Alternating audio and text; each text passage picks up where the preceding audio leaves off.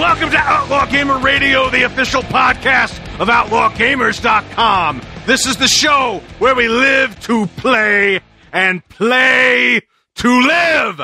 I am Brent Adams, joined by a man who is also prepared to give you a handheld experience right now and the full on encounter later.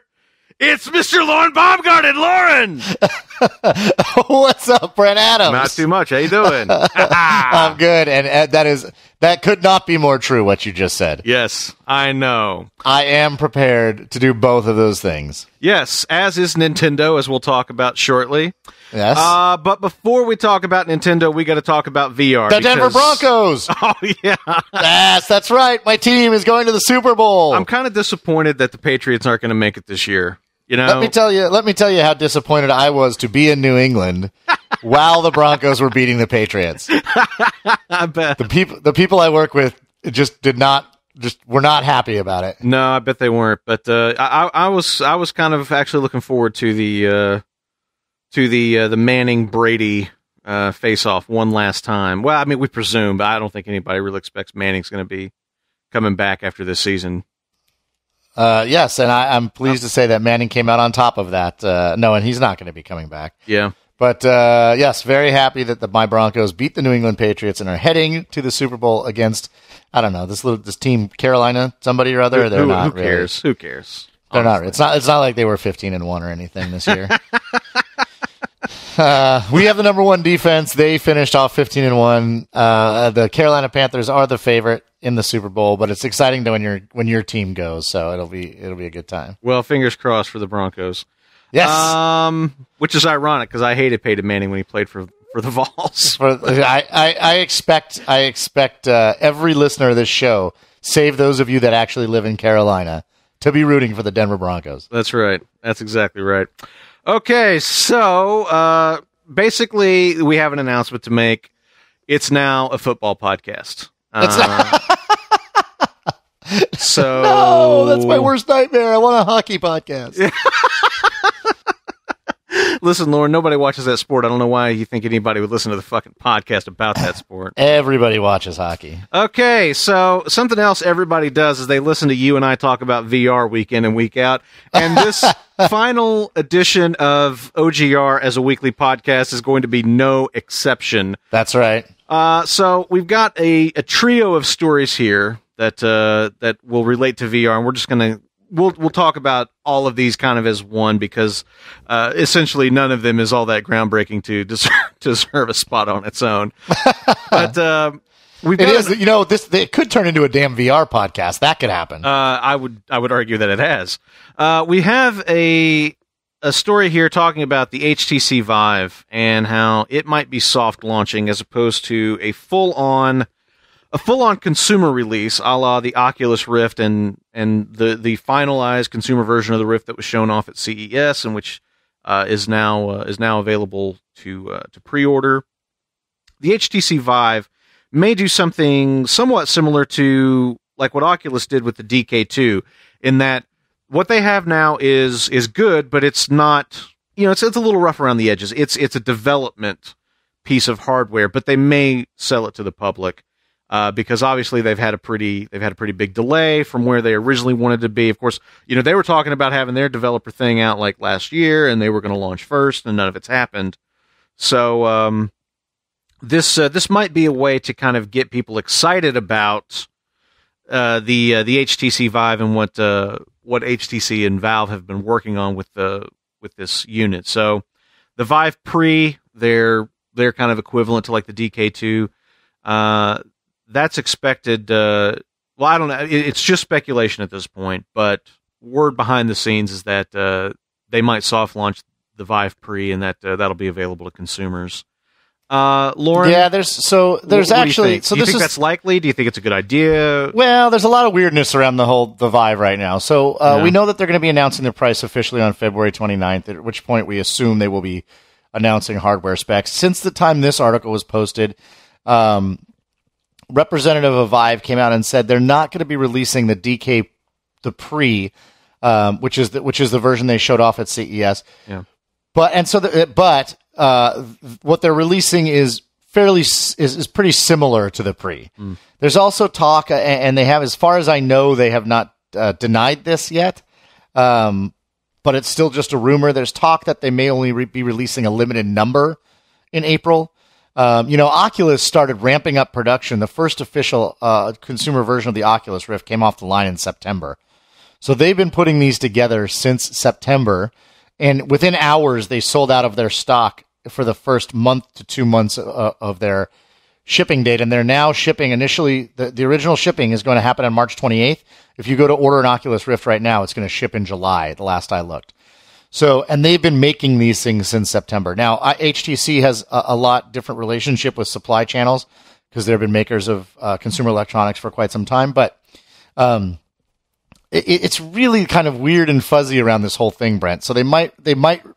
The re- it sounds like they're going to be releasing something that's and they're also releasing this Vive Pre. I mean, they just released the actual Vive Pre and started sending it to developers like at CES, right, or shortly thereafter. So that's like in mid January they started sending out the Vive Pre, and come April they're shipping out another the consumer version, which it sounds like is going to be a slightly modified version of the Vive Pre.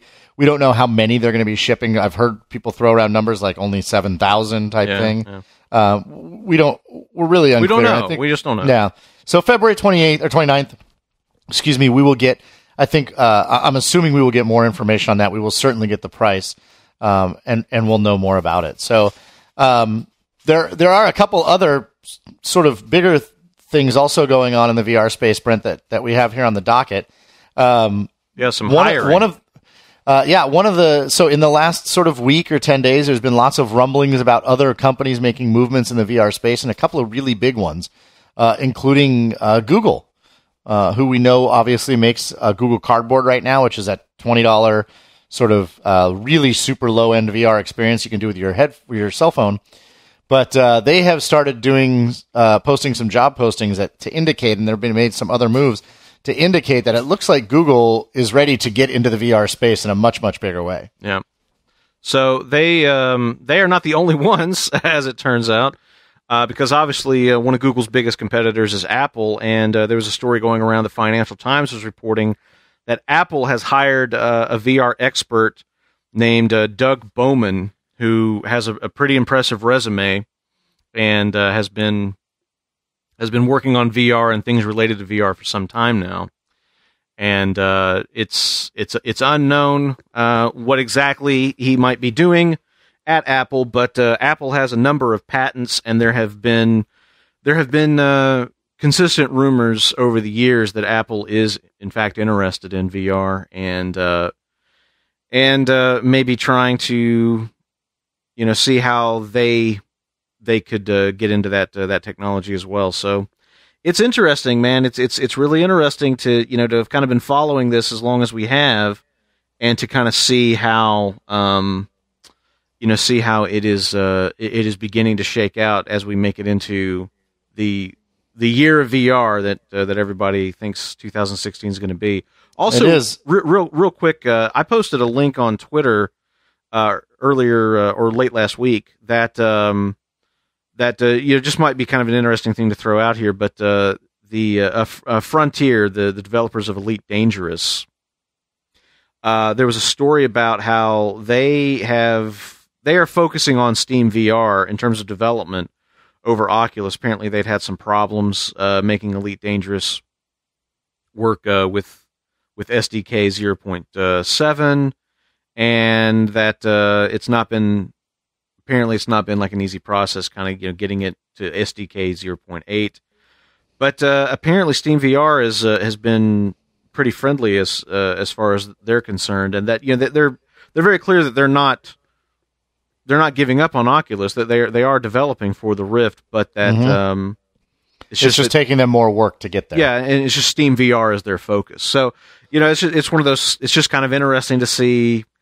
It, just you know how these things are, are kind of shaking out, but uh, yeah, it, it, seems like uh, Oculus and uh, and HTC and and obviously uh, PlayStation are going to have uh, more company than just uh, the Samsung Gear VR, not too distant oh. in the future. Well, absolutely. There's another move that we just saw today, Brent, that the general manager of of uh, Vine Twitter's uh, you know video service. Yeah. Vine has has moved over to Google to work on VR. Oh, what do you know? Um, Jonathan Blow uh, has told us that he is his new game, of The Witness, which well, comes out I don't know that he told us. I mean, No, he told us. I'm sorry.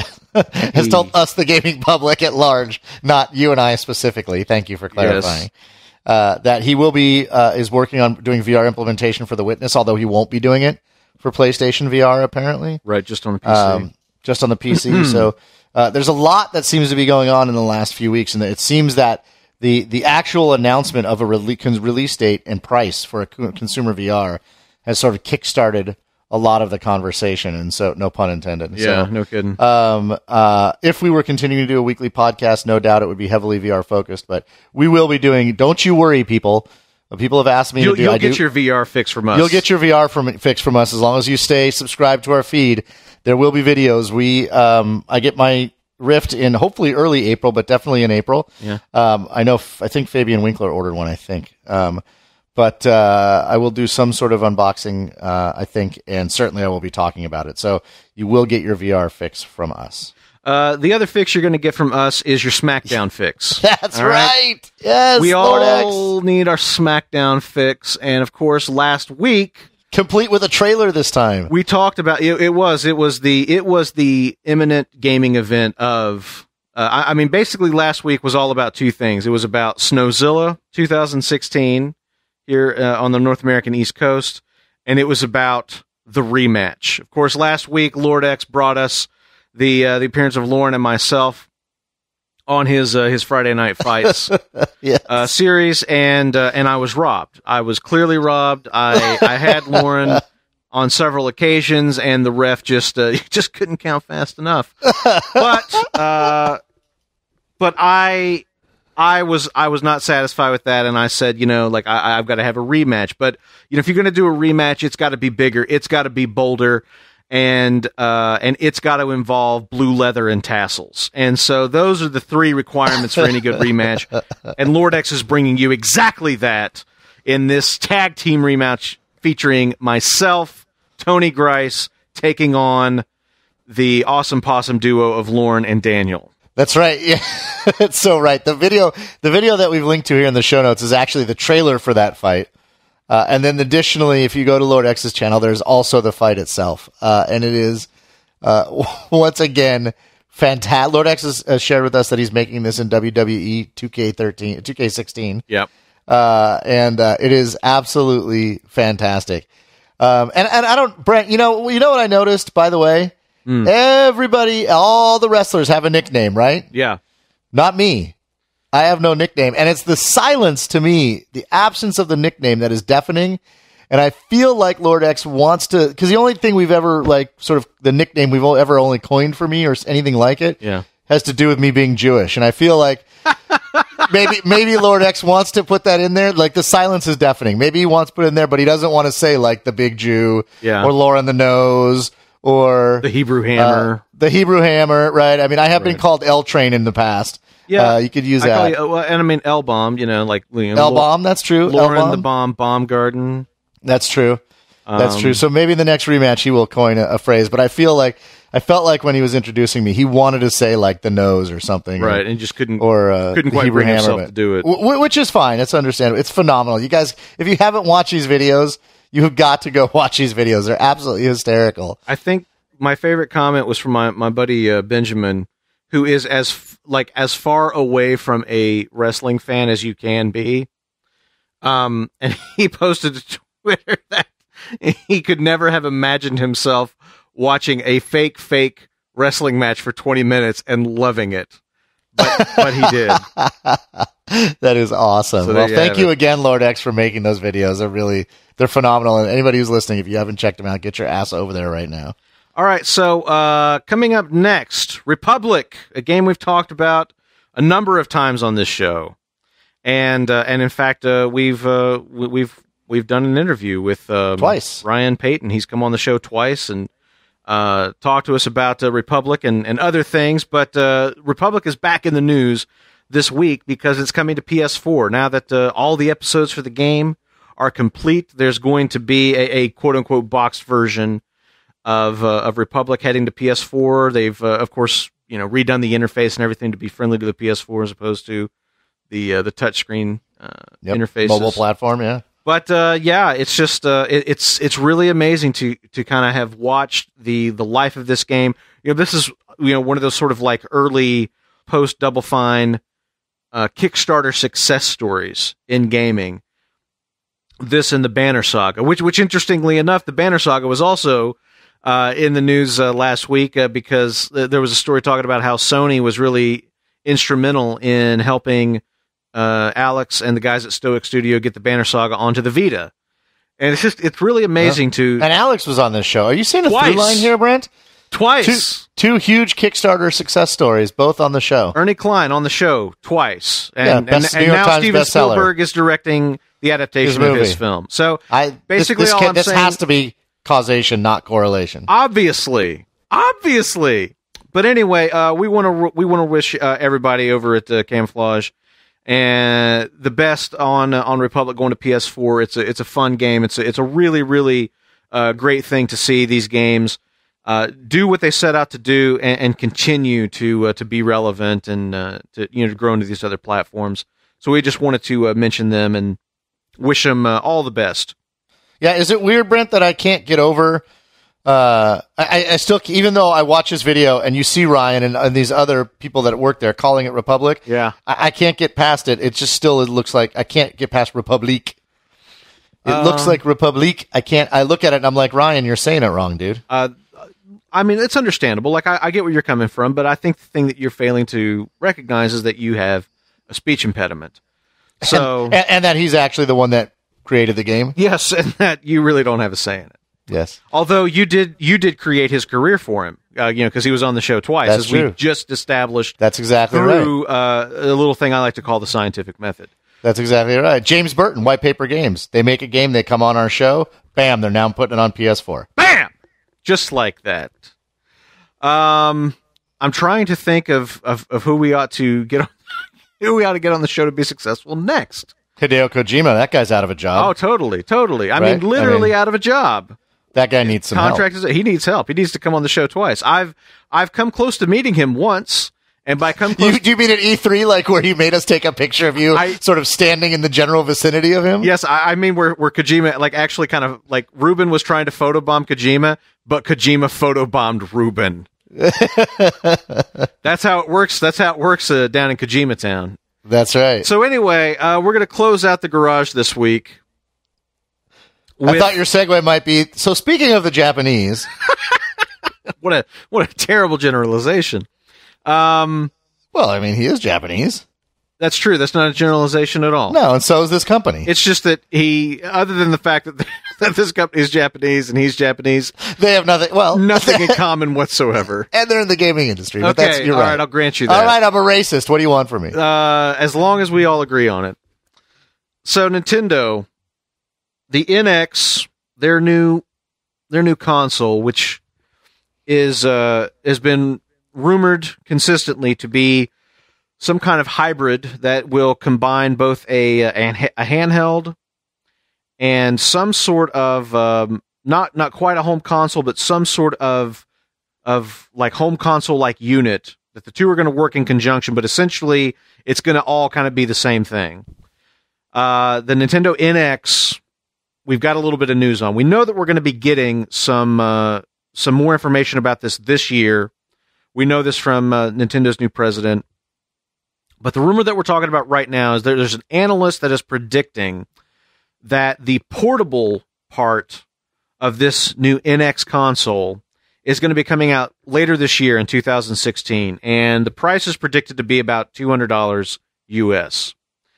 And then the the kind of the the home console, I'm using the big air quotes here, the home console half of this equation. In theory, what we're talking about here is like whatever this handheld is, that's going to you know be a handheld console in its own right, but it's also going to be your your controller or something for this this home version. Like you know, the two are going to be dependent upon one another. So I, I guess may, maybe a little something like a you know like a Steam Link, uh, you know, kind of thing. You know, something that's going to you know get the the game from the controller to the TV, but maybe it's got some processing stuff so that it's in HD or whatever. Um, But anyway, the prediction is that the handheld part's going to be out in 2016 and then the console part's going to be out in 2017.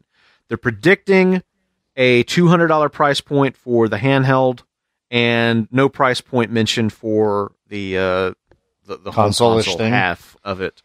So I posted uh, I posted a, a little something about the NX to Twitter. I have no idea if this is a good idea or not for Nintendo. I have no idea if it's a smart business move for them, if it will if it will be different enough to get people's attention, if it will if it will be successful. I have no idea if any of that is true, but I'm so down if they were to do something like this. You know, I, I love my 3DS. I, I I've played my 3DS to an obscene amount. I have played my 3DS more than my Vita, uh, and and I love the idea of. And I mean, obviously, Nintendo has great success with handheld consoles, but I love the idea of a Nintendo handheld console. You know, you know just like ba- basically buying like an add-on, and now your Nintendo handheld console is just your fucking Nintendo console. Period. There's something about that idea that I really, really like, and I am curious to see what Nintendo does with it. Of course, you know it's kind of a whole new day over there, and you know Nintendo seems like they're on the verge of doing a lot of really different kinds of things, at least by their own standards. And, and I'm excited. I, I want I want Nintendo to succeed. I, I think that they are an important force in the game industry.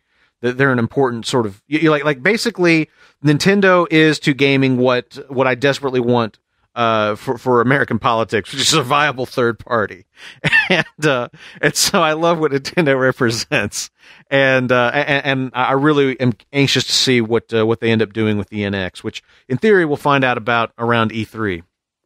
Yeah, it's interesting. So, uh, obviously, super nebulous. There's another piece of this article, Brent, that I think is sort of no small thing that really jumped out at me. And that is, it says in this article that it's worth noting the report uh, is also the source of, uh, that is the report, the source suggests the rumor, uh, says that the NX may work with smartphones, PCs, and competing consoles. Yeah, Doesn't say what that means. Uh, and uh, it- that's just such a weird thing. Like it might work with smartphones, PCs, and competing consoles. I don't know what that means, and, and that kind of jumped out at me.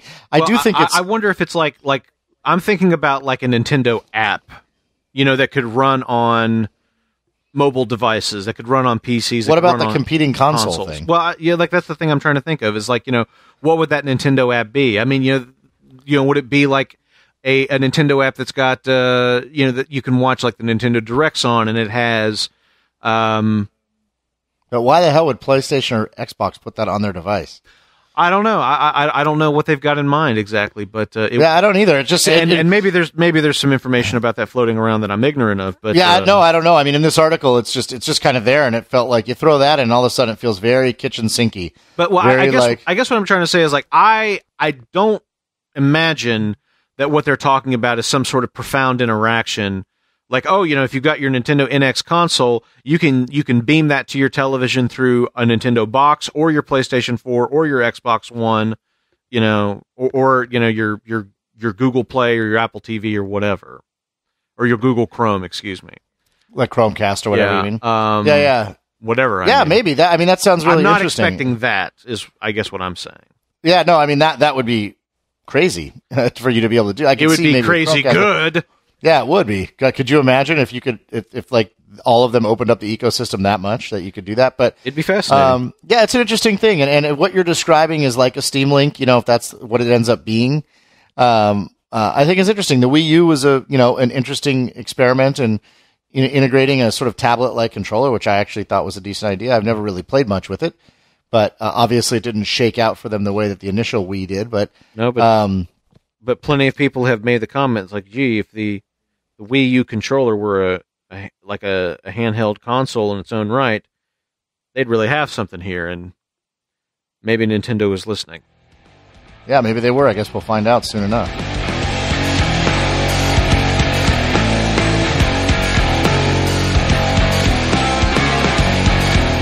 And we're back in the clubhouse. Everybody, pull up a chair, kick up your feet. We're going to talk a little bit.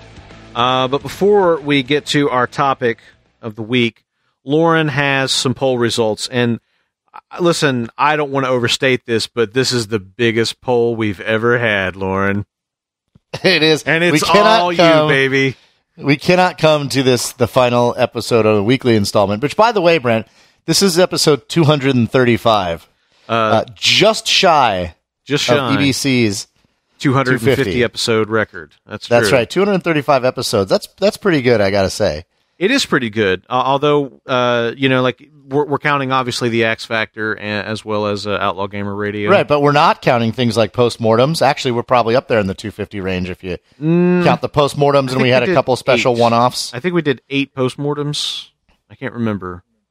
And then didn't we have I could- a couple other up, one-off shows?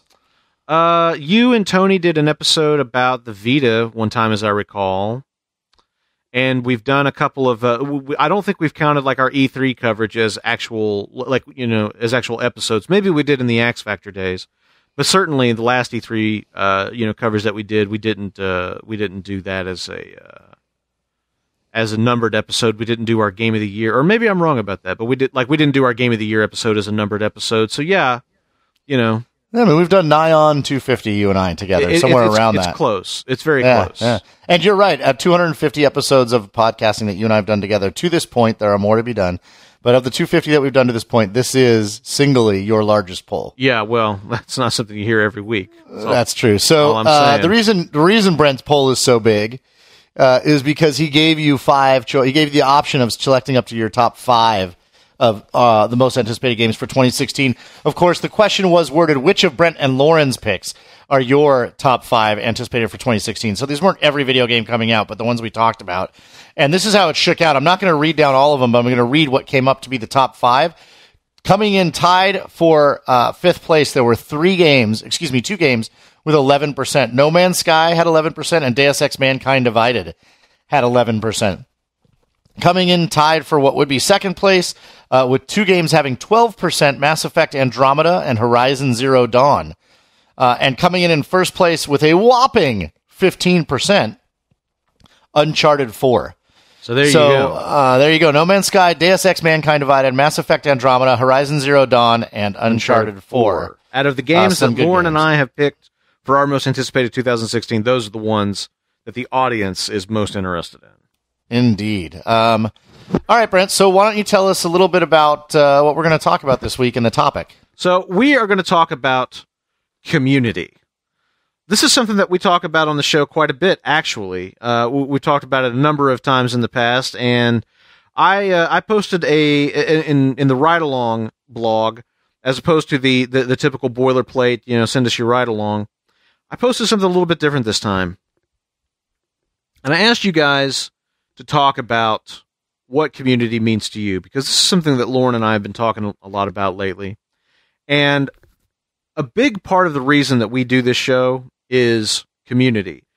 We we've often we've often said that uh, that you know we think the the outlaw gamer community and the epic battle axe community before it is uh, is the best gaming community online, and we we really do believe that. It's not something that we say just so you guys feel special and and come back and listen to us. We, really believe it, and we've been part uh, of other gaming communities uh, that have have proven it. And I think that it's one of those things that it's easy for us to kind of say, um, it's easy for us to say that you know that you guys are the reason that the that the the show exists, and you guys are the reason we come back each week. But sort of defining why that is, we thought might be an interesting topic. Why community is important, and and not just our community, but you know, kind of community in general, online communities, gaming communities. You know, what is it about? Uh, what is it about those things that? Yeah, because obviously this is a relatively recent uh, development in human evolution, and it's interesting how important this community has become to us, and we wanted to know what it means to you guys, and so we asked you to just talk about what does community mean to you, our community, you know, game communities in general. How has it affected you? Affected the games you play or don't play? Has it affected the industry itself? Those kinds of things, and so we're going to talk about you know our feelings about this, but we also wanted to share some of the things that you guys had to say. And uh, so we've got some some comments here. And Lorin, if, I mean, unless you'd uh, like to say anything before we start, I thought uh, you know we'd just like uh, you know read read some of these and uh, and just see what our our community members think. No, I think it's great. We're actually we're going to read all of them you guys posted. because we really appreciate your contributions and we want to share what your thoughts are. So, Brent, if you want to start, I will. So, uh, Miguel Ramos said, "Community is a sense of belonging. It's more than the actual factual things you do. It's like family." You may spend more time with other people. You may not do much, but family is always there. It's where you come from and where you return to. Community for me is just that the place where you belong. I never met another outlaw, never spoke to one in person, don't know if I've ever played a game with one, but I do feel like this space is my gaming family. Maybe I come here every day, maybe I comment, maybe I skip a few weeks, but no matter what, this community is always here, and I felt it always would be. This sense was built on years of interactions, of fights, discussions, of fun times, of discovery, of sharing, of taking care of, even nurturing. Like all families, sometimes not all of us get along, but like most close families, it really doesn't matter at the end of the day. Of course, if the outlaws, axe heads, or the family, Brent, Lorin, like Daniel and Tony once upon a time, are the parents, the patriarchs that make the family gather, the house, the home that keeps the family united. They make the rules, provide the space, and the reason for us to come back together again. And like all good parents, they give the freedom for every family member to grow and fit in. They present new ideas, new things, but are not closed to the thoughts of everyone else. In fact, they welcome them. And this is something I cannot find anywhere else in the gaming world.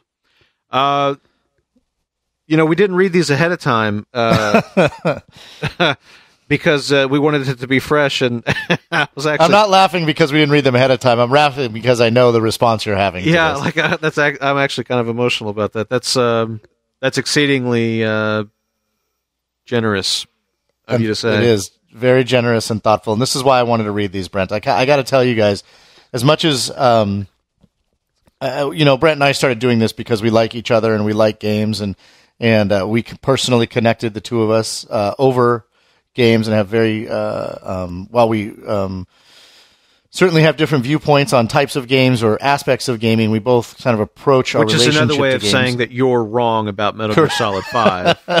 we and The Last of Us. Yes, obviously. Uh, uh, we we both approach games in a similar way with the with the uh, what we believe to be the respect that the medium deserves and the thoughtfulness and, and conversation that we believe uh, is missing in so many other places. Yeah. But um, I have to say, as um, uh, as special as it is and as much fun as it is to sort of talk and joke with Brent and do this stuff, uh, reading comments like this from from you guys from all over the world. You'll see there's there's more of these. We're going to read every single one of them. is is just tremendously tremendously moving to as you can uh, hear in Brent's voice and, and hopefully in mine uh, to both of us. And it, so means so much to us that it means so much to you. And it, and it means this much to us or to to, to me as well. Um, and that's just it's just fantastic. And, and this the website uh, just so you know, Miguel, it's going to go on, and the community will still be here. So that that's right. Uh, that that set that uh, ability to come and go and comment and talk that's not going anywhere. You know, the, I, I, the, the one thing that I just want to say before we move on is that uh, what what uh, Miguel is saying there at the end about um, presenting new ideas and not being closed to the thoughts of everyone else, but actually welcoming it. If we have done that, like you know, one day when I when I finally you know check out of this train ride, I can go happy on that alone. Like if if we have actually done that and engendered that that sense of of welcoming new ideas, because let's face it, a lot of people in this world right now not exactly on that particular train with us. But if we have actually engendered that sensibility, I could not be more proud. I, I, I agree with you, Brent. I have to say that I take a tremendous amount of pride in that. And doing this podcast, uh, not only did it get me my job working as community manager um, for the golf club for HB Studios, yeah.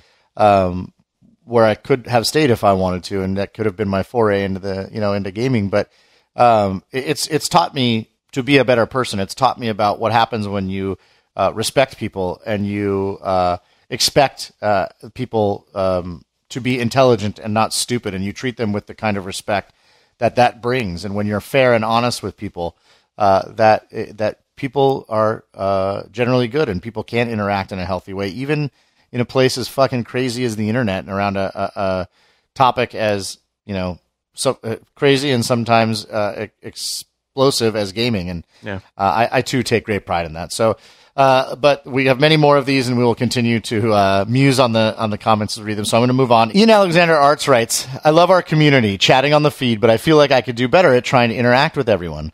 Playing Rocket League last year with Aberjam, Brack, and Aussie Legend was some of the most fun I had all year." I hope we have many more games and we can share in the future, and maybe I'll think about trying out more multiplayer games just to have a chance to hang out with my fellow OGs. Nothing wrong with that. Uh, I gotta say, man, you know, I said to you last week or last couple weeks. Unfortunately, we're going to talk about it a little bit more this week, but not much.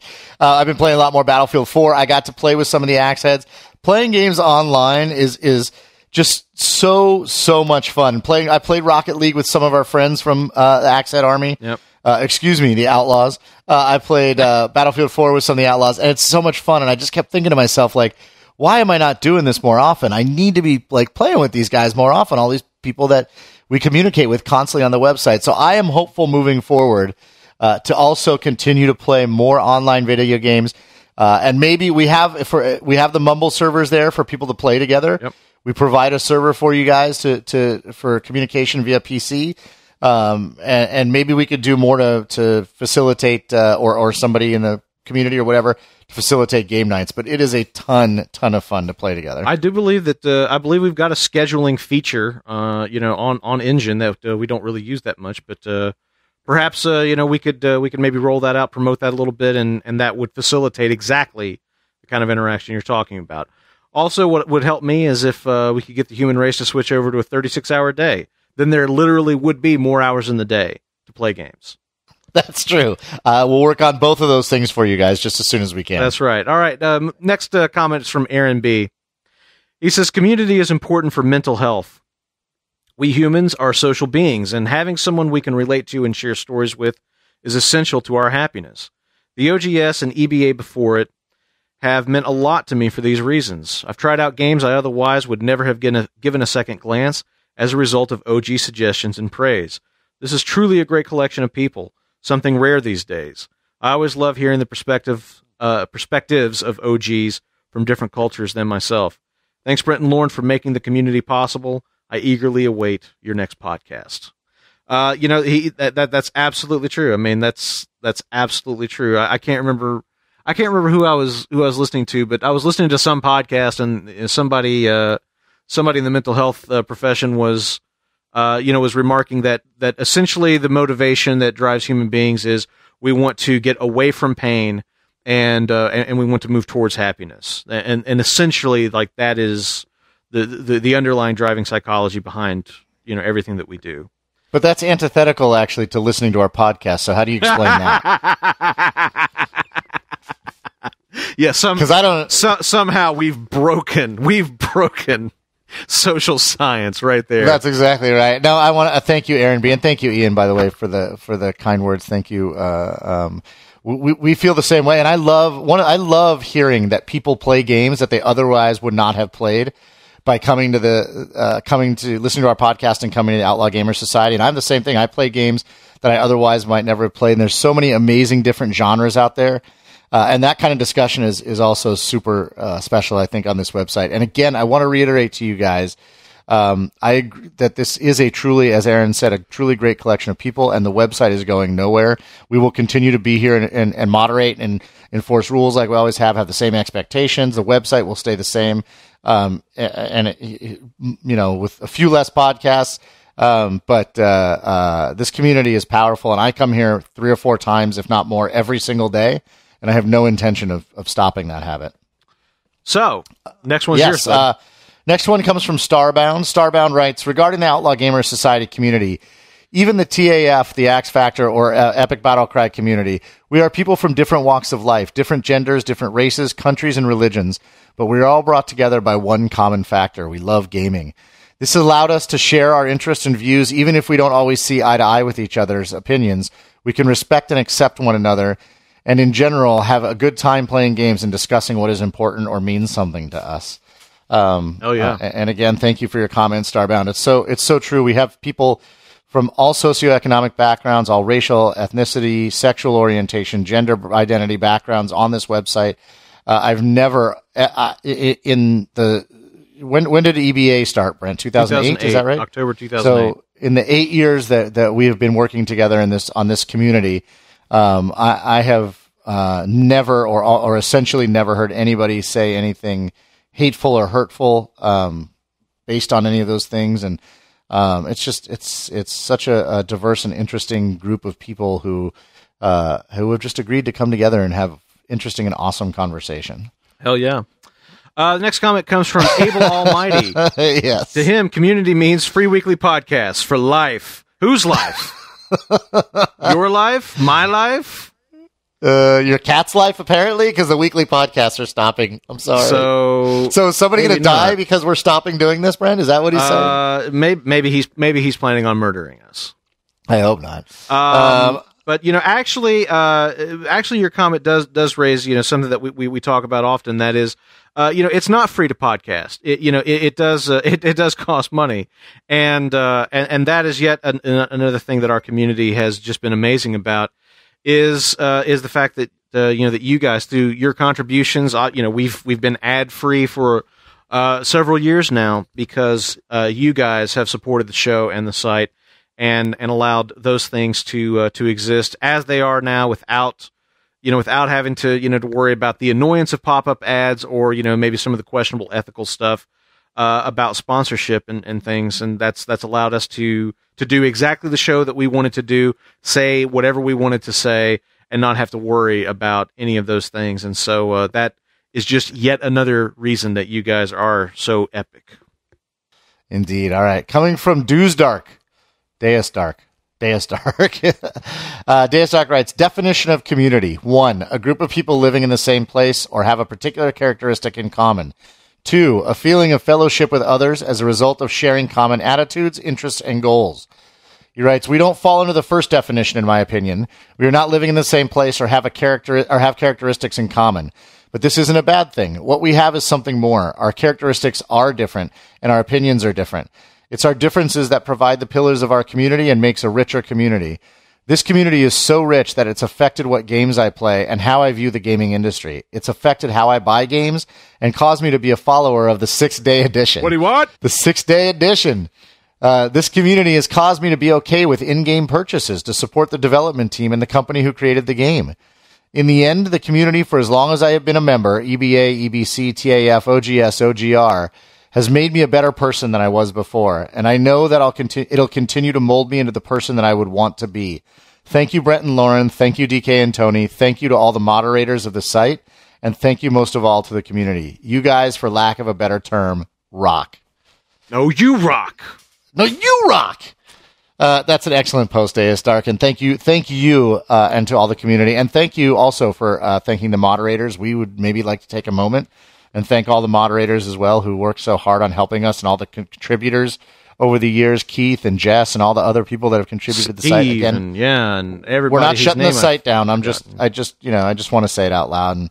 Um, just an awesome, awesome uh, community, yeah. and to, to read that, you know, this community, this thing that we share, has helped to make you a better person uh, which I feel it has done for me, yeah. is uh, is touching, and I connect with that. You know, the the other thing that uh, the the other thing that he was saying there that I found really interesting is that uh, that that that notion of how community is evolving.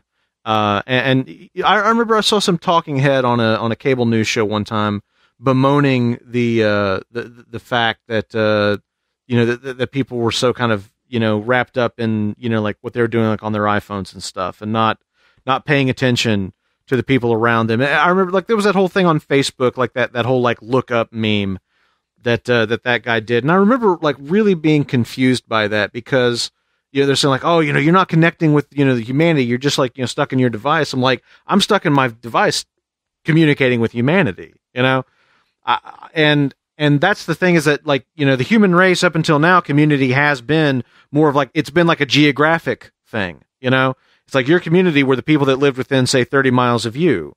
And now community is no longer restricted by that. Now you have a choice in community. And you see this, you know, this new thing, you know, the, the rise of community of a community built around interest, around shared experience and interest. And and and that it, that's really interesting, you know, because now it, it's not just about you know you're part of the community that you're born into or that you you know that you live you, know, or you know depending on where you live or whatever you have a choice in the community that you can belong to you know based on you know your own sense of self identity and and all that and that I think is really empowering. And it is a powerful thing. There's not. I, I, I met. I have met some uh, members of OG, both playing games with them on, on voice chat and in person. I, I uh, you know, Daniel uh, Chalamanza, who was living in, in Berlin, and I met him in Sao Paulo, Brazil, face to face. Had an awesome time hanging out with him. Uh, uh, Nico, uh, who I talk to pretty regularly on chat, uh, I talked to, uh, although not lately, Nico son of a bitch, but um, uh, lives down in Argentina. Uh, my good friend Danny, uh, who I met, shoot, give me your shoes, who I met, uh, uh, uh, have never met in person, but met through here as well. I, I, play games with him constantly. Um, I, I, play games with, uh, you know, we got we have Aussie legend down in Australia. Down in, I was gonna I was gonna say New Zealand. Yeah. um, and uh, just just, just uh, people from all over him. the world. I mean, all, all, over the world. And I love that about this podcast. It, it is exactly like you said, Brent, about this this podcast and website. It's not about geographic location anymore. Uh, it's no. it's it's about a common shared interest, and this website connects people literally around the globe. People who care about each other, and and who I feel like uh, um, wh- whether it's on the, I mean, God, the, the shit we've seen, people going through emotional stuff on here and supporting each other, going through personal bouts with depression or mental health issues or family members that have died. My mother died while while we were uh, doing the show. I mean, the, the, yeah. the, amount of support that we provide to each other is fantastic. My and, daughter was born I, while we were doing this show. That's ex- well, not not exactly. Not literally. We, were, while we were doing. It was actually really weird because we were on Skype and I was watching the. whole It was uncomfortable, but yeah, it was. It was uh, a little uh, strange but when I met Daniel in person, uh, not not Kaiser. When I met Daniel Chalamatza in uh, in um, Sao Paulo, it was uh, you know, I mean, it was I've been t- I've been t- it was like I'd known him for years, right? Because I have, yeah, you know, and and uh, uh, it's pretty amazing, pretty amazing. Um, speaking of people living in other parts of the world, That's our right. resident. Our resident drunk Scotsman living in Japan. That's right. Tokyo Choo Choo chimes in to say EBC was the cat's pajamas. It really was the very best gaming podcast ever made, in my opinion. Fantastically, the EBA community was a respectful and thoughtful one, giving me an outlet to commune about games without having to face down trolls every few seconds. I was quite into writing humorous blogs about classic games back then. Anyone remember the uh, the Choo Choo's old remembering blog posts? My connection with EBA and its community deepened when Hans created the Axe Head Assembly podcast, an endeavor that I quickly shanghaied and made my own. We recorded 50 episodes of that ramshackle piece of shit. It was a right mess, poorly recorded and ill structured, but boy, did I have a lot of fun doing it. Along the way, I made many friends among the rotating guests, such as Aberjam, Alexander Art, Sigmund Rumpf, and many others. After EBA closed down and OGS took root, myself and two Axehead besties, Brack and Human Metal, started another, far superior and more professionally recorded podcast, Radiophonic Sea Creatures. Again, we are having so much fun making that show. I consider my two co hosts to be really good friends, friends I would never have met without being part of this community. Added to which, as much as I love DBA, the community around OGS impossibly became stronger than before. There might be a few less people on OGS than EBA, but we all have passion and a deeper connection with each other. It's like the game site version of Cheers, a place where everybody knows your name. We're not faceless here. Everybody knows their Rowans from their Aussie Legends and their Randy Marsh beers it really is a great community here at OGS. That's why it's my homepage. That's why I check every single comment that rolls through the status feed. Simply put, OGS is the best thing on the net, except for Pornhub, of course. of course, absolutely. Uh, you know, it's interesting because uh, uh, well, there's a couple of things in there that really jump out to me. First of all, I too read every single comment in the activity feed. I don't think it, not a day goes by when I don't at least stop by, uh, even on bad days, one time. Yeah and I always read all the way back to yesterday's post. Mm-hmm. I, I, literally read every single post on that activity feed yeah. every single day, and and almost all the time, every comment on every post. You know, I, I, was just thinking about the activity feed itself. You know, when we first uh, when we first switched to Ning, that was actually when that whole thing where like you know Epic Battle Axe like closed down and like you know was going to mm-hmm. be like a Facebook only community there for a while. Yep. And uh, and then and then we moved over to the Ning site and and the uh, the the activity wall like that that's the like one of the best things that has ever happened uh, to our website. But I, I think the activity feed, like just being able to like go and just kind of see, like moment to moment, day by day, what people are thinking, what they're playing, what they're into, stories that they're that you know that they're finding that uh, that they're wanting to share, videos and stuff like that. That has like I wish that we could have had that from the very beginning. Yeah, I don't even go. I, I honestly, I, I almost never go to other gaming websites anymore because I know that anything that I need to know is going to be on EBA. Yeah. And if it's not on e, on uh, OGS, excuse me, and if it's not on OGS, I probably don't need to know it. You probably don't care. Um, and I get super frustrated for the most part when I have to go to other websites and avoid their advertising grenades Yeah. That they lob at us. But I thought that was pretty powerful. Also, I, I really, you know, uh, Tokyo, God damn it, I love you, man. Um, uh, he writes, he talks about how it's uh, an in-game, and I can't think of Tokyo without thinking of doing Sean Connery. It just I don't know why I can't get out of my head. Uh, but uh, uh, uh, he writes about how it's like a game site version of Cheers, and it's a place where everybody knows your name. They're- We're not faceless, and he's 100% right. and everyone knows the Rowans from the Aussie Legends and the Randy Marsh beers. And I do want to say, which is true, and I love it. I absolutely fucking love it. I do want to say, um, particularly when we announced that we would be uh, finalizing the weekly podcast, we had a lot of people sort of jump on for the first time uh, and, and make comments, and, and people saying, you know, I've never commented before, but I've been listening to you for five years, and you're a weekly part of my life, and I'm going to miss you so much, or miss the podcast so much, and um, it's true that that um, uh, uh, you know we know each other's names, but but this community always wants more people in it, and so if you're listening to this and you don't know who Aussie Legend or Randy Marsh Beer is or Rowan or whatever, uh, uh, we want you now or six months from now or whatever. It's so in, uh, it's so heartening to me when new people when I see a comment from a name that I've never seen before because someone decides to start talking uh, with the rest of the community. And so, so I, I don't know. It just it makes me want to also just extend that invitation to the to the thousands of people that that are listening to the podcast that have never commented on the website. Uh, or never uh, actually, you know, joined. Uh, we want you here, so please, uh, please, please uh, get on here and, and, and learn these names yourself because you'll be glad you did. yes, indeed. All right. So next up, we have a comment from Soul Nibbler. Community is a. Let me back that up. Soul Nibbler got me there. He gets me every time I read this this comment. Community is a way overrated show. Also, I can't stand Joel McHale. I disagree, but you're okay. I can't, it's taking me a couple time. Joking aside, community in the sense of gatherings on the internet is to me somewhat of a safe haven. No matter how much shit people give you in real life, I know there's a place I can escape to where people people uh, where there are people that understand me and share many of the same uh, stuff that I like. I usually tend to stay at one community at a time. Another forum was that to me for many years until personal differences drove me away. It was with people he met in person. Since then, the Axehead Army and now the Outlaw Gang is my constant home. I check the site every single day, several times per day. Not only can you get very in-depth discussions of the happenings in the video game industry here, it is also one of the most civilized platforms I've known in the virtual space. Still, there can be a wide range of diverse opinions, but it never really goes overboard or leads to personal vitriol, and that's is a scarcity on the web. Personally, this community and this site helped me enormously in recently hard, recent hard times where I just wanted to shut myself off from the entire world. But there was still the community that gave me the feeling of belonging and thus averting the threat of complete isolation. I can't see a point in the near or distant future in which I don't want to be among my fellow OGs anymore. And even without a constant weekly podcast, let's all hold this haven of joy and insanity for as long as we can. Uh, Soul Nibbler, thank you so much. It's such a fantastic comment, and and I just I echo everything you said, and we're we're so glad you're here too.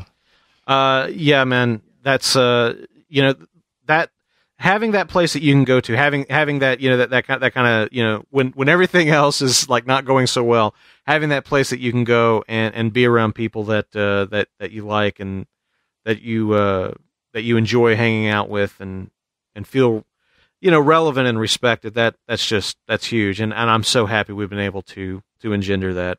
Fabian Winkler, uh, my old uh, Borderlands cohort, And my soon-to-be VR bro. yeah, uh, he says, to me, community feels like home in a student home, a not blood related family. People come together to enjoy each other's presence and involve each other in conversations. It's also a place where you can just sit down and follow the different conversations as a passive listener. That's that's right. I mean, you know, it's and and I guess you know that's the thing is like you know we've never we've never really uh, we we've never really wanted to be anything else but that. You know, just just a place you know that people could come and and just you know discuss things and and you know just you know share that passion and everything. But you know the fact that it's grown into a lot of different things. You know, like people are doing their own podcasts and and YouTube shows, uh, you know, and Twitch streams and all that. It's really uh, it, it, it's really awesome. But you know, at the, and fuck making games too, making fucking video games. That's but right. uh, you know, but at its core is just you know exactly what he's talking about. Yep. Uh, all right. So, uh, big bad, big bad Giggy, whose name I don't think I've seen before, uh, just dropped a little note and says, "Not sure what it really means to me, but the thought of it going away makes me sad." That says it all, I guess. You know, it does. That uh, that, that that's that's well put. Yeah, and we appreciate uh, your your sharing the sentiment. I think I, I think it's a sentiment that's shared by many people, myself included. But again, uh, we're not. It's not going away. It's just it, the community is not going away for damn sure. That's right. At least I don't see that happening. And the show's Uh, not the- going away. It's just happening less frequently. That's exactly right. So, um, all right, Brent. Next up uh, is another uh, comment from a listener who I've not seen post before, Dark Fletcher. Uh, Dark Fletcher writes, "For me, this was a community, a place where I might not come every day, but I always feel welcomed when I do. We'll still come around after episode 50, but I will feel that something is missing. Um, and again, uh, you you are always welcome here. God damn it! So And keep coming back. The only thing that's going to be missing after episode 50 is Episode 51. I mean, not to be glib. we just got done telling them that wasn't what was going to happen. 51 we- we will have 51 it'll just be a while uh christopher brady says i'm pretty sure everyone said what i think about the word community but if you'll let me repeat some of it a community is a place where people can get together and be accepted for who they are and where they can accept others in the same way. Often we have a tie. In this case it's gaming. We may not always agree with each other. We may not always think the same way but the one thing that this community has that no other on the internet has is mutual respect. And this is why I'm glad I'm a part of it. I also hope that I get to stay part of it for as long as I possibly can. I love you guys. You are all awesome people. That It's is a sentiment worth repeating. Uh, since Lorin read two comments, I'm going to read two comments. Oh, I thought you were going to read Chris Brady's comment again because you said it was a sentiment worth repeating. Oh, that would have been good though. Damn it, missed opportunity. Esteban, uh, who has you know, we we talked uh, you know briefly about uh, about our um, we talked briefly about our um, our moderators and the people who have helped us out behind the scenes. And uh, and and you know we are so thankful to uh, to Rowan and to Aberjam and Aussie Legend and all the people who have come before them. Our first group of Yep. moderators: Athena, Superman's Doctor, Nick Long, and Esteban. Uh, Esteban has been with this site almost as long as I have. I don't know how he found us, but he found us early on, and uh, we just can't get rid of him. But um, That's a true story. but uh, w- w- really, really do have to say just just uh, how much uh, Esteban's work and uh, and and insight and uh, feedback ha- have really been important to the website over the years, and, and we're so thankful to uh, to have had him. And before you read his comment, Brent, Esteban, I'm sitting here staring right now at my Pop Games Borderlands statues, thinking about you. And uh, also, Esteban did an ama- when we were looking at logos for the website, did just a fucking crazy ass amazing drawing that uh, that I. Uh, He's talented we just guy. ended up not using the logo, but god damn it, he is so talented. But anyway, sorry, guy. go ahead. All right, Go so ahead. Esteban says eight years holding true to a vision from the man himself. Eight years. Regardless of format changes, the ideal that the internet doesn't have to be a vile cesspit and people can come together regardless of taste and engage each other civilly. It's no shock that we all have different views on games, but I never walked away hating someone or taking anything personally. It's completely unheard of on the internet, and it's never been compromised for numbers, metrics, or financial backing. It's due to all our members, past and present, and the efforts to share interest and to engage each other to try games we would have passed up. I don't have to be here. I choose to be here. Hopefully, the site continues long after the podcast end. We have a self sustaining video game site that is up to date on all news without any of the hate. And that's a pretty remarkable thing. It goddamn is. God, I just, uh, I'm getting a little emotional reading all this stuff, Brent. All right. Next up from Lucius Silver. Lucius writes, uh, I don't know for sure what community means to me. However, I do know what this community means to me. Everything. I come here when I'm sad because there's always funny stuff lying around. I come here when I'm happy to spread the joy. I come here to speak with intelligent people and be heard in turn with no fear of reprisal. Sure, we don't always agree or share the same taste, but that's what makes our little corner of the internet so awesome. We don't put others down just because they're different. This is why I come here. This is why I stay. To me, this is home, and home is where family is. I don't even know what to say to that. You really don't have to say too much else because Lucius Silver already said it. He took the time to actually write it down. I might I might just move that to the masthead of the website. Yeah, that that was uh, that was that's very appreciated. Thank you very much. Also, Yes. uh, thank you for uh, sending those troops to me and Star Wars Commander. I appreciate that. Um, Brent's something of a whore. Lavitz says a community is usually a group of living beings sharing interest or place of living. Uh, that's exactly what I was talking about earlier. This community, however, is much more than that. To me and to many other fellow Axeheads or Outlaws, this is a home away from home. It's a place where we not only find solace, but broaden our horizons, be it with new perspectives or new experiences, sharing a virtual battlefield or a text message back and forth. A community is also like any living thing. It grows, it matures, endures its losses, celebrates its achievements. We had our knocks along the way. Once highly featured in a now mostly unrecognizable GT, we lost a few listeners, but along the way we gained so many friends.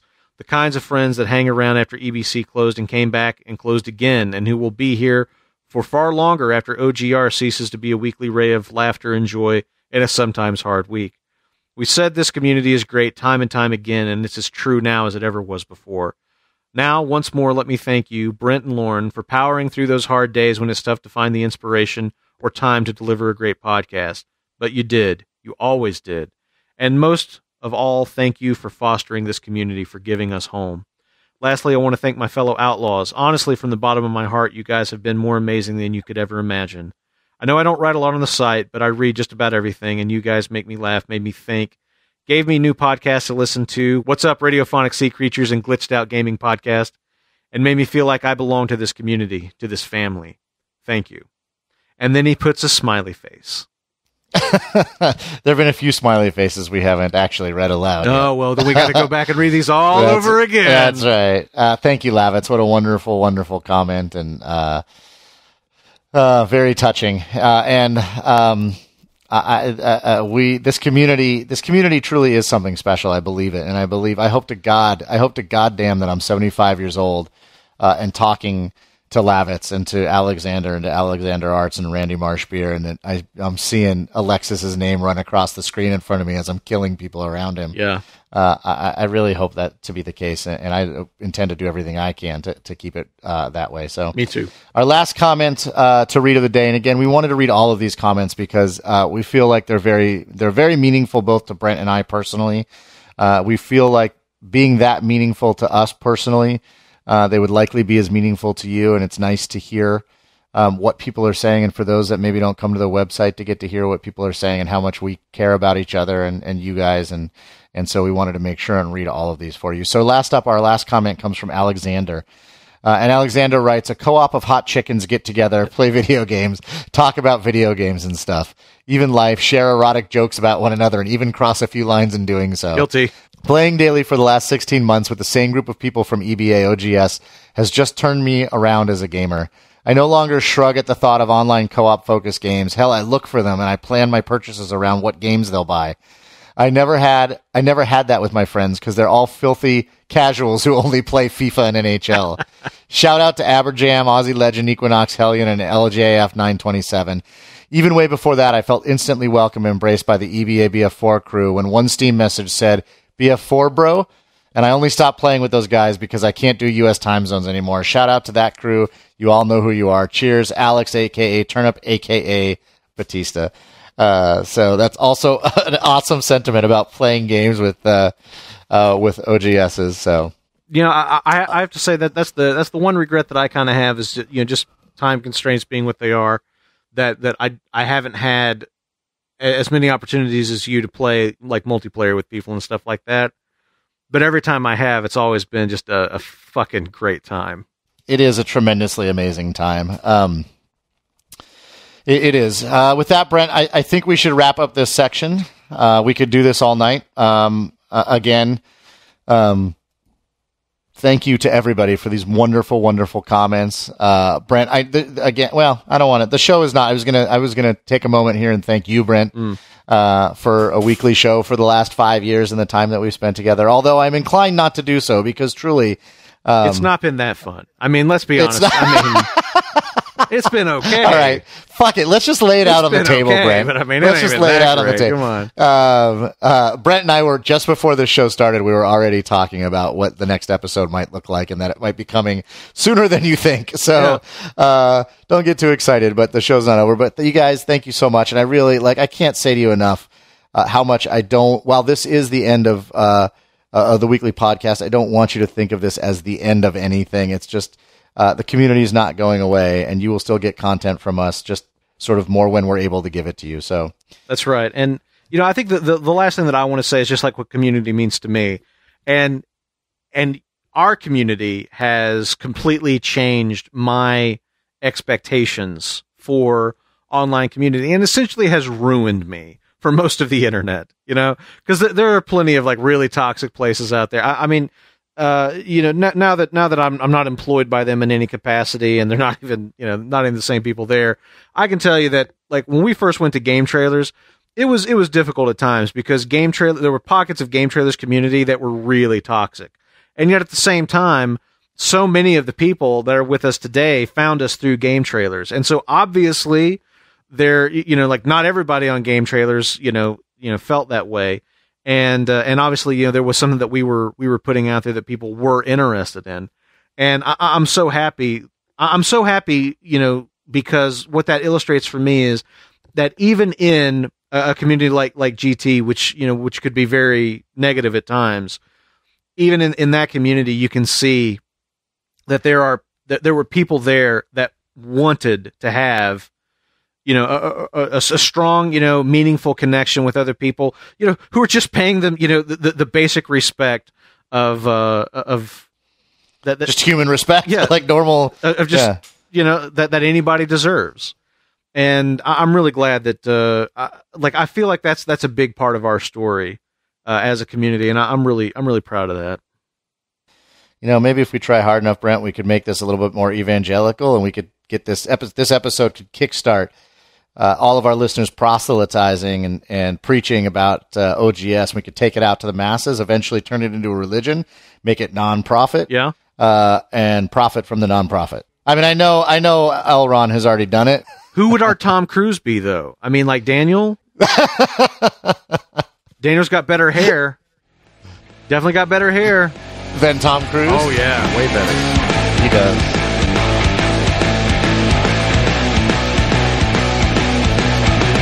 Okay, everybody, uh, it's going to be quick, but we're going to hit the road and uh, talk about the games that we're playing this week. Lorin, I know. I feel I feel bad because uh, this being the sort of final weekly episode, I feel like, especially this being the end of the final weekly episode, that was a powerful segment we just recorded and so important uh, to me, and will always be one of my favorite memories on the show. I know, and now it's like- time to I feel like we're down going- like a dog in the road. I feel like we're going out with a bit of a whimper, but uh, as far as the road is concerned, the only game I've played this week is Battlefield 4, uh, and uh, it's been a shit ton of fun. So I can't really go into that, Brent. I will tell you, I did pick up uh, Tomb Raider. Yeah, Um, uh, Rise of the Tomb Raider comes out this coming week on Thursday. Yeah. Um, I picked it up for like 37 bucks. I bought one of the Nvidia codes. Uh, I got shit from listeners for pre-ordering the game. Uh, at which time I was like, God damn it, I didn't realize I pre-ordered it. But there is, uh, t- in my defense, the game is already out, and so I did. I went and like watched a lot of gameplay and reviews and stuff, and that's how I made the decision. Um, and uh, it has, I think, an 86 on OpenCritic. Uh, so super excited to check that out this week. But uh, other than that, I've just been playing BF4. well, I'm going to be checking out the Witness this week because that uh, that's that's down tomorrow. Yeah, and is. uh, the the reviews are the reviews are pretty good uh, over on Open Critic. Uh, God damn it, we might just have to do a show next week and just talk about the two awesome games we just bought. lots of uh, lots of people seem to be enjoying that, and that's uh, and the the month ain't over yet.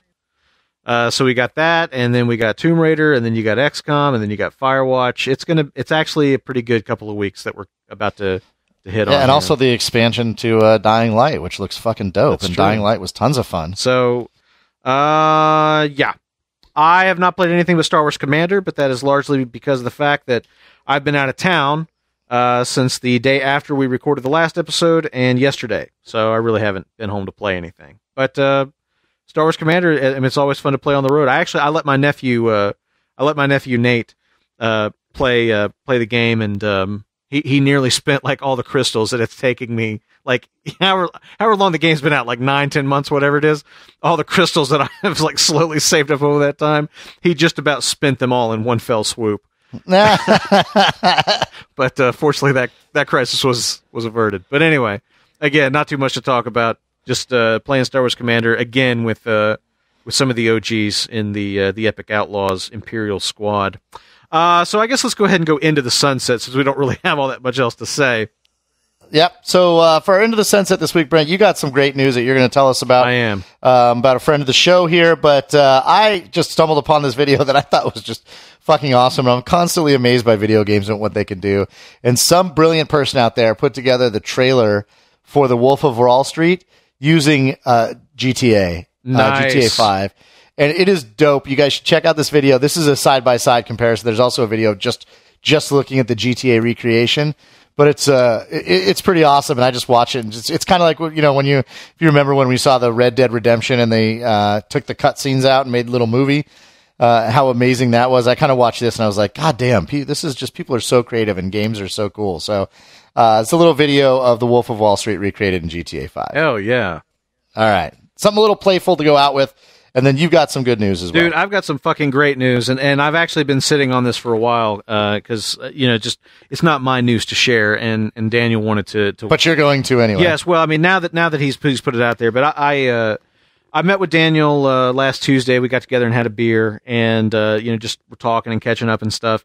And it was just before he was moving away because uh, he is moving away to start his new job as the get ready for it product marketing manager for fucking Unreal Engine at Epic Games, and so uh, he's moved over to Raleigh, North Carolina, to uh, to join all of the amazing people at Epic Games working on the Unreal team. He joins another uh, another good friend of mine, Chance Ivy, who is a senior community manager over at uh, at Epic, and uh, I just couldn't be happier for the guy, man. He uh, he, he he totally deserves it. I think he's going to do a fantastic job, and and I'm just I'm so happy that after you know GT folding and, and all of the uh, all of the stuff that, that that he went through and you know just that uh, that that really unfortunate situation. It's it's great that uh, he's back uh, he's back at the helm of something really uh, really cool and and in a job that he's just going to kick ass at. So. Uh, yeah. We just want to say all the best, the mightiest of congratulations to to DK for for this new career path that he's started on. Absolutely. And an epic note to uh, end this episode 50, the last of the weekly podcasts uh, for Outlaw Gamer Radio, but not the last of the podcast. Congratulations to you, Daniel, by the way. Um, and with that, Brent, I think we will wrap it up. Uh, as usual, we want to hear what you guys think about everything we talked about on this podcast or anything to do with the world of gaming. Uh, whether it's DK's new position as a product marketing manager for Unreal Engine, you better send a shout out to DK over whatever social media you can. Uh, the Wolf of Wall Street trailer, uh, trailer created in GTA 5. Of course, Star Wars Commander and BF4. That's just a perennial goddamn subject. Uh, any more thoughts you have to share on, on what community means to you, what this uh, website means to you, that sort of thing, please, please do share them. We want you guys to uh, go ahead and process any feelings you got, share your love for the community and each other. And then up in the garage, we talked about, of course, the new Nintendo NX portable and console, rumored to be coming in 2016 and 17. République coming on the PS4. Uh, Lord X's amazing series of me kicking Brent's ass or Brent kicking my ass in the ring, along with Daniel the Hair Kaiser and Tony Grice, uh, and all of the uh, stories we talked about relative to uh, the advent of VR in 2016. We want to hear your thoughts on that and any topic in gaming. As I said, as usual, he is Brent Adams. I am Lorin Baumgarten. And remember, you don't stop playing because you get old. You get old because you stop playing.